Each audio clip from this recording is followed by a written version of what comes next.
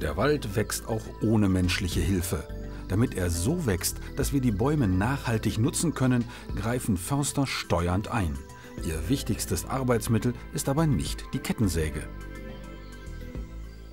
Licht ist eigentlich unser wichtigstes Arbeitsmittel. Es ist immer so, dass wir durch Lichtgabe das Wachstum von Beständen, von Waldbeständen sehr stark beeinflussen können.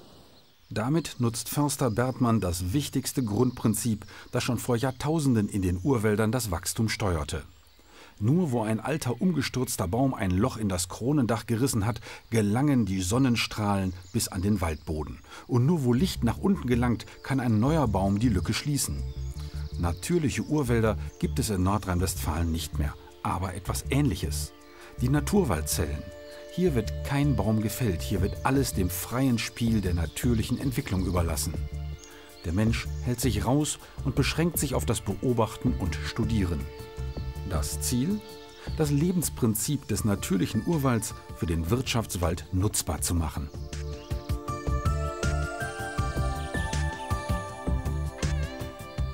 Im Urwald fallen Bäume um, schaffen neuen Platz, schaffen Licht an den Boden und neuer Wald wächst von unten hoch. Und ähnliches machen wir bei der Durchforstung. Bäume werden angezeichnet, rausgehauen, der Mensch nutzt sie und äh, dadurch wird Platz geschaffen für neuen Wald, der dann von unten wächst. Zwischen Urwald und Wirtschaftswald gibt es einen entscheidenden Unterschied. Im Wirtschaftswald wollen wir Holz auch nutzen.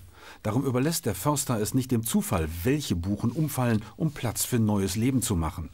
Mit roten Strichen markiert er einen Baum, den er fällen will.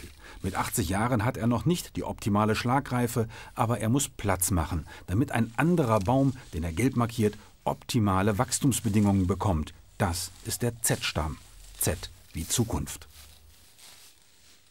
Wir konzentrieren uns in unserer Arbeit auf die Z-Stämme, die Zukunftsstämme, und die werden das ganze lange Leben eines Baumes hindurch gefördert, damit sie im hohen Alter dann auch Dimension und Qualität haben, die wir uns wünschen.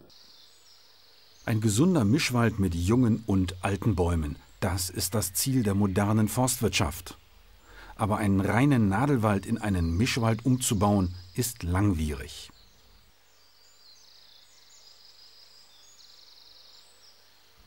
Am Anfang steht Handarbeit mit der Wiederhopfhacke, einem uralten Waldarbeiterwerkzeug. Die Waldarbeiter pflanzen junge Buchen. Sie brauchen in den nächsten Jahren vor allem das passende Licht für ein optimales Wachstum. Zu viel Licht schadet. Der totale Schatten eines dichten Fichtenwaldes funktioniert aber auch nicht. Der Förster muss durch gezielte Fällungen das richtige Licht schaffen und braucht dann vor allem Geduld.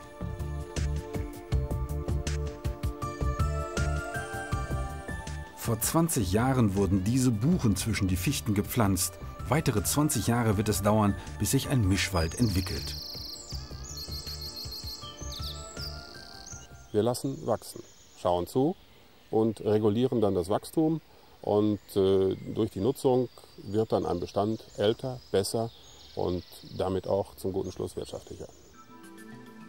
Wirtschaftlicher ist diese Form der nachhaltigen Forstwirtschaft, weil solche Wälder robuster sind gegen Krankheiten, Schädlingsbefall und Sturm. Und gesunde Bäume sind die wichtigste Grundlage für eine auch ökonomisch erfolgreiche Forstwirtschaft.